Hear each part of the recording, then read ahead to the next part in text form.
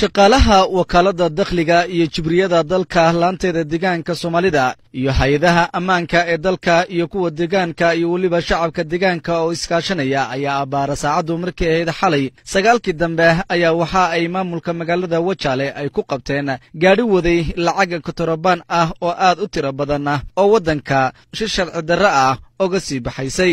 Lacagtani ayaa ah mid ay isticmaalaan saddex iyo toban waddan oo dunida ah islamarkaana ay ka mid yihiin maraykanka ingiriiska sacuudiga astareeliya kanada norway iyo weliba waddamo kale. Sidoo kalena lacagtani waxaa wehelinayey toddoba kilogaram oo dahab ah. Guud ahaanna lacagta iyo dahabka marka loo beddelo lacagta etoobiyan birka ah ayaa waxa ay kor u dhaafaysaa lixdan milyan oo bir gaadhiga lacagtani waday ayaa ahaa gawaadhida jaadka lagu qaado ee loo yaqaano aysuusiga taarikada gaadhiguna waa lixdan iyo saddex kun iyo hal boqol oo koortiri oromiya ah. Haddaba maariyo ku-xigeenka wakaaladda dakhliga iyo jibriyada dalka laanteeda deegaanka soomaalida ayaa faahfaahinaya sida ay markaasi gaadhigani ay u qabteen iyo weliba cadadka ee markaasi lacagtani ay dhan tahay. Xalay tole markay ahayd sagaalkii dambe sakda dhexe ahayd lacaga qalaad oo si sharci darraa waddanka looga bixinayey oo hantidii waddanko dibadda loo sii saarayey yaa adugu xogo iyo shacabka oo caawimo fara badan naga siiyey dabadeed gacanta lagu dhigay. Lacagtaas waxayd lacag aad fara badan oo kala gedisan oo laga leeyahay saddex iyo toban dal oo dunida ka kala mid ah lacagta aad xoogo badan ka bacdi. Gaariga jaadka lagu qaaday elsiga lagu dhoofiyey iyadoo taayir lagu soo xaseeyey in aad ku guulaysan in lacagta in gacanta lagu dhigo. Lacagta hadda waxaan ku xaraynay commercial bank bankiga commercialka ethiopia iyo toddoba kilogram oo dahaba isagana oo laga soo qaaday oo dahabka national bank inta badan oo haya noociisa oo kale ah dahabkii adoo hadda gacanta waan ku haynaa isagana goobtii loogu talagalay baa la geenayaa.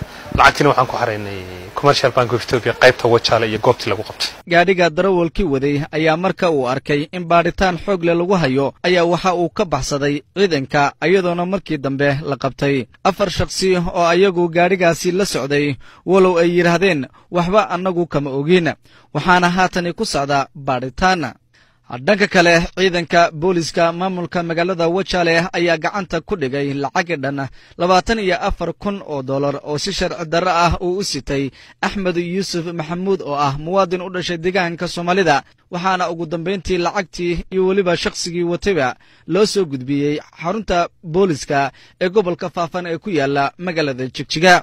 Waxaana arrintaasi aanu wax ka weydiinay. Taliyaha booliska gobolka faafan komandar maxamed xuseen iyo weliba taliyaha ciidanka booliska ee maamulka magaalada wajaale mutakil komandar axmed sheekh waxa weeye horta doolarku waa sharci dar.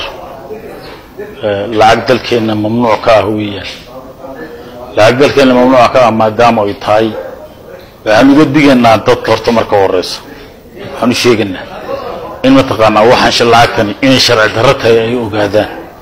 Cid aan loo fasixin cid aan loo fasixin inaynan lacagtan qaadan karin.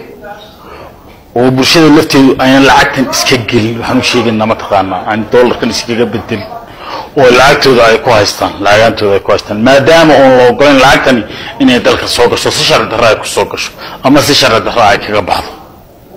Marka waa taas kolley lacagtani maadaama lacag sharci darraa tahay waxaa la wareegi jibriga.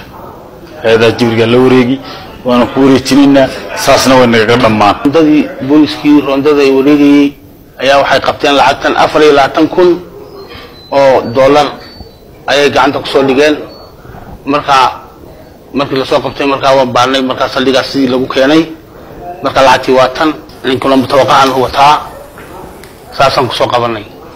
Ninkan waxaa la dhahaa axmed yuusuf maxamuud baa la dhahaa lacagtan afar iyo labaatanka kun ee dollar lacagtan marka sidaad ogtahay lacagta dollar ahaan in waa sharci darro inay ka dhex dhaqdhaqaaqdo maxaanku dhaha etoobiya gudaheega ama deegaanka gudihiisa waa sharci darro.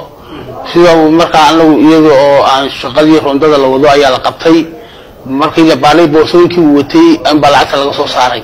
Saasaan ku soo qabanay markaa lacagtuna sharci darro wey dhankiisana waxaanu waraysi aanu la yeelanay axmed yuusuf oo ahaa shakhsiga lagu soo qabtay lacagtani kotorobaanka ah. Waxa uuna ka warbixinayaa sida loo soo qabtay iyo halka uu ka keenay lacagtani uu sitay.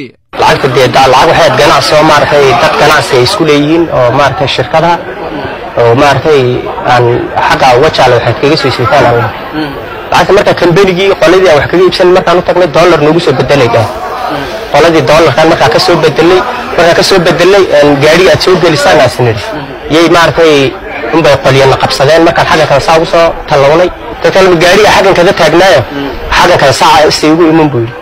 Gaadhigii saadaan xaggan saa ugu soo tallaabay kuwii maaragtay aan ka nimid somaliland ay wixii iyan baa markiiba kuwan kale u soo sheego marka waan xasaasana lagu qabsada de annagu maaragtay lacag maana waxaan kale aqoonin lacagtan kale wax ku soo iibsadaa islahayn qolyahaas annagu bir ma qaadanay dhaheen loo soo bedelay dhaheen.